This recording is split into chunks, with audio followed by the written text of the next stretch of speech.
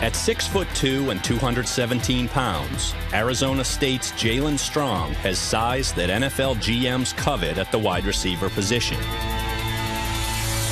A junior college transfer in 2013, Strong followed up his breakout sophomore season with more than 80 receptions for almost 1,200 yards and 10 touchdowns as a redshirt junior.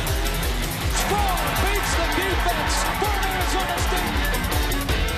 While some scouts argue that he lacks the raw speed to separate at the next level, Strong is able to push vertically down the field with long, decisive strides. He is able to get off of press coverage with his size and footwork at the line of scrimmage.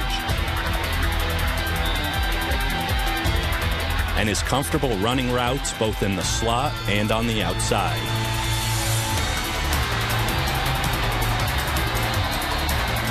The Sun Devil split end has the coordination and body control to adjust to the ball and has a wide catch radius. Strong can climb the ladder and pluck the football out of the air. He excels at catching away from his body in jump ball situations and can make the contested catch.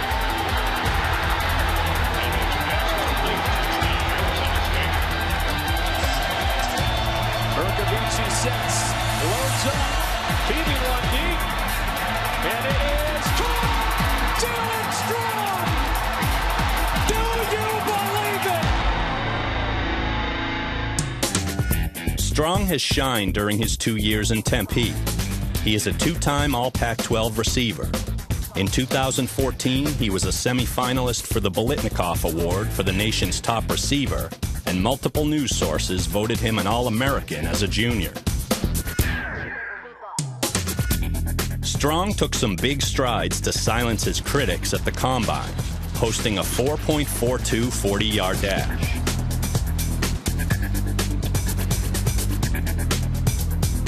He was also a top performer in the jumps, leaping 10 feet 3 inches in the broad jump and finishing second in the vertical.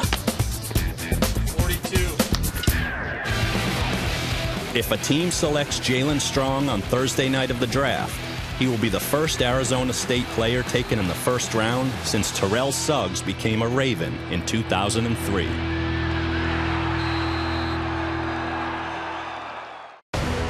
This NFL Films production has been brought to you by NFL Network. Watch the National Football League 24 hours a day on NFL Network.